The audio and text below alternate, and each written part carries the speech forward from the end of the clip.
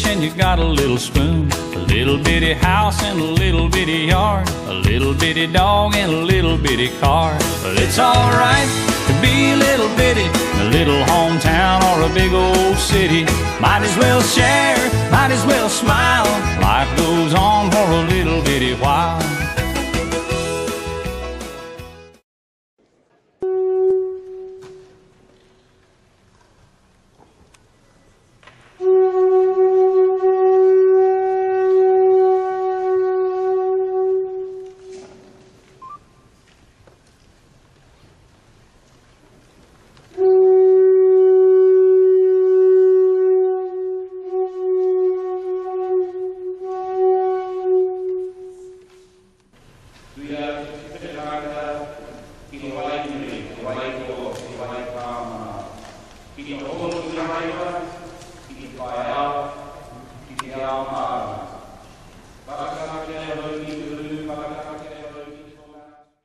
Peoples, ladies and gentlemen, it gives me great pleasure this morning to open the sixth session of the Expert Mechanism on the Rights of Indigenous Peoples.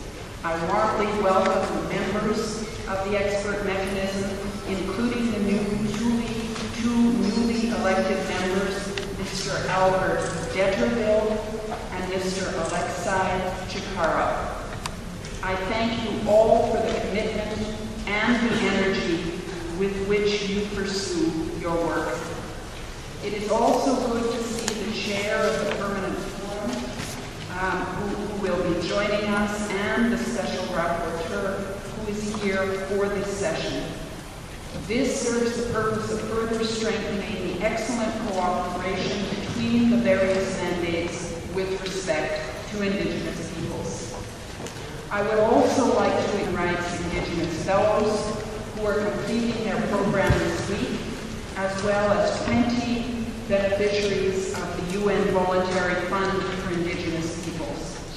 Your insights active participation are essential to ensure that the work of the expert mechanism reflects the real concerns of Indigenous peoples, and that the conclusions and recommendations emanating from this session constitute a concrete contribution to the advancement of the rights of Indigenous peoples.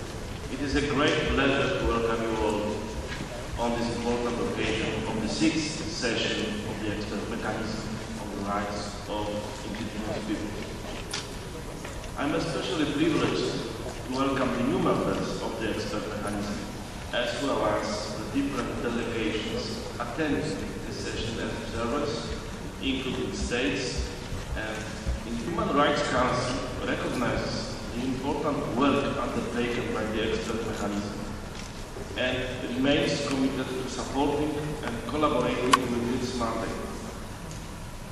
The studies and advice on the right to education, the right to participate in decision making, the right to cultures and languages, and the follow-up reporting to making principles on extractive industries have all been well received by the Council and positively contributed to the efforts to further the protection of the rights of indigenous people.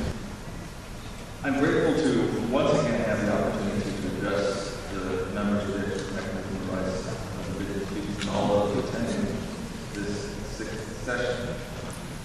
I'd like to acknowledge the work of the experts and thank the Secretariat for facilitating my participation in this session.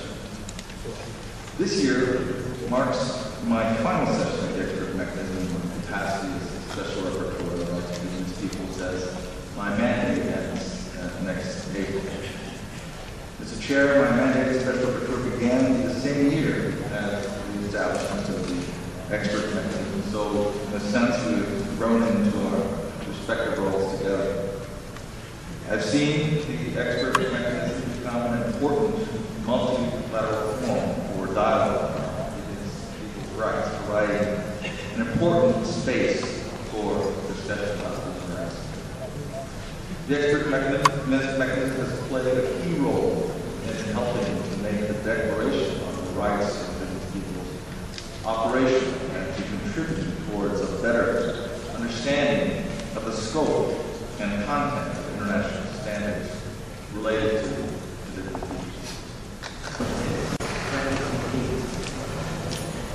So the first one was to address this situation, the UN Expert Mechanism on the Rights of Indigenous People. The expert mechanism, the special rapporteur, and the UN Permanent Forum on Indigenous Nations have the distinction of being the only indigenous Distinguished chairperson of the expert mechanism on the right of indigenous people and members, UN member state, indigenous brothers and sisters, ladies and gentlemen. First of all, I would like to thank you very much for giving us, the West Papua indigenous people representative, again the opportunity for presenting our statement in the sixth session of the EMRIP. We West Papua indigenous people continue to suffer discrimination, marginalization, extreme poverty, the conflict and human rights abuses, our race and way of life under the threat of extinction. Over 50 years since 1963, West Papua joined with Indonesia.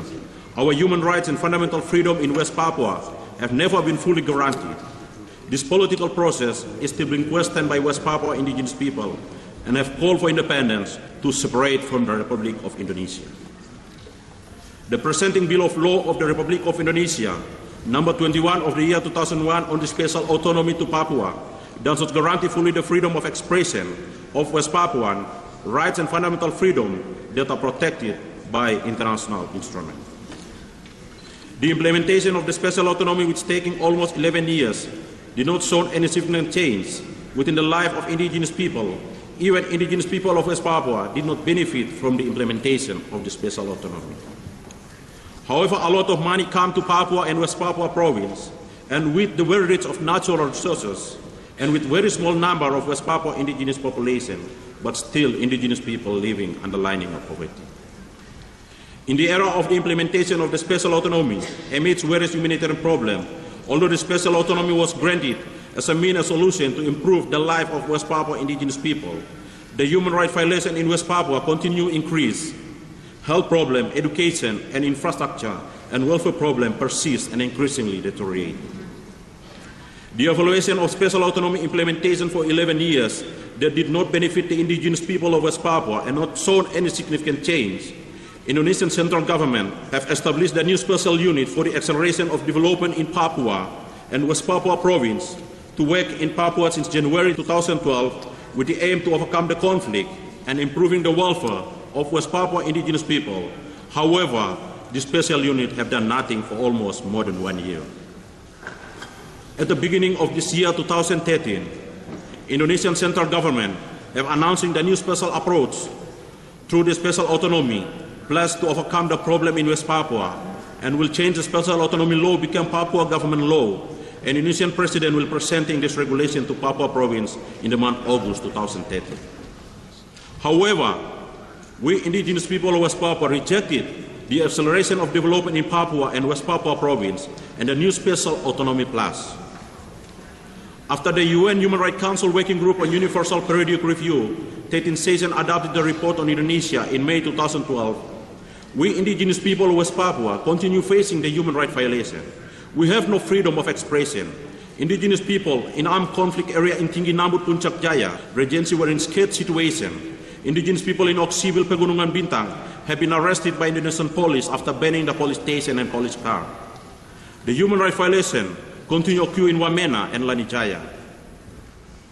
Through the session of the expert mechanism on the right of indigenous people, we West Papua indigenous people demand peace and justice and call upon the United Nations for exercising the referendum on self-determination to determine our political status according to the provision in the Charter of the United Nations, Article 1 of ICCPR, ICESCR, and in the Article 3 of the UN Declaration on the Right of Indigenous People, which state that all people and indigenous people have the right to self-determination and the right to freely determine their political status. Self-determination will enable to end the conflict and human rights violation in West Papua.